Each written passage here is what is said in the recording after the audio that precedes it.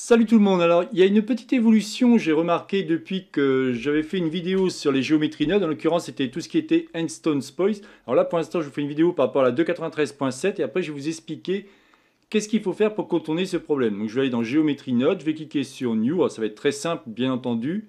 Ici je vais faire Shift A et dans la 293, pas de souci, si je, si je cherche Instance, je vais trouver Poi Instance.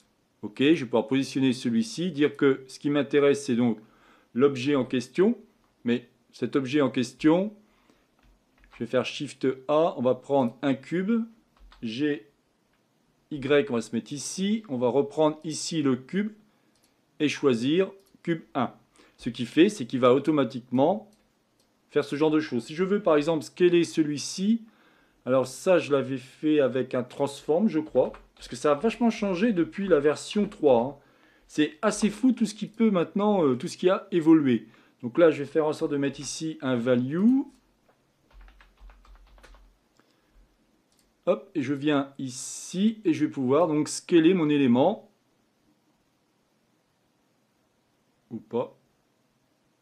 Voilà, je vais pouvoir scaler mon élément et vous voyez, avoir ce genre de choses. Vous avez bien compris que le point instance, il va prendre chaque point et définir ici. D'accord?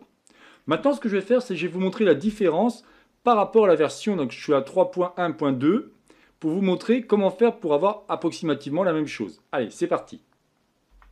Donc là, je me retrouve sur la version 3.1.2. Je vais aller dans Géométrie Node. Si je fais New, ça change pas. Par contre, si ici je fais Shift A et je vais Search, déjà vous avez pu voir la liste, elle est juste énormissime.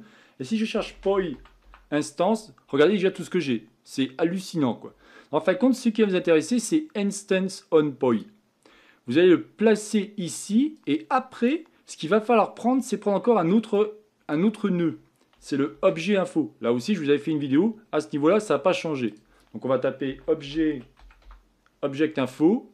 On va aller ici. On va se mettre ici. Donc, pareil, ici, je vais faire Shift A en prenant un cube. G, alors, On va se mettre ici. On va revenir sur mon cube, ça ne change absolument pas. Hein. Là, je vais me mettre par contre au niveau de l'instance. Je vais définir ce qui m'intéresse, c'est lui. Et vous voyez que c'est exactement pareil, on retrouve la même chose.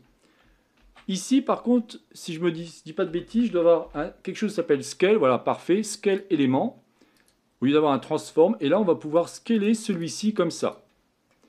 Alors, croyez-moi, euh, par rapport à la version 3.1.2, il y a énormément de choses. Là, si je fais barre d'espace, je ne vais pas aller plus loin, hein. je voulais juste montrer la subtilité pour contourner par rapport au Instance Point qui avait disparu. Moi, au début, je ne comprenais pas, parce que ça fait un petit moment que je n'avais pas fait de la géométrie node. Et je me suis dit, comment je vais contourner ça? Bon, là, c'est vraiment très simple ce que je vous montre. Hein. Mais je vais refaire des vidéos là-dessus. Je suis en train de réapprendre plein de trucs. À côté, je fais plein de, grosses formations. Là, je suis en train de préparer une formation sur... Euh, Grease Pencil, génial tout ce qu'on peut faire avec. Récemment, je vous ai fait une formation complète sur la primitive type volume. Je vous montre la petite vignette et je vous mettrai le lien au niveau de YouTube.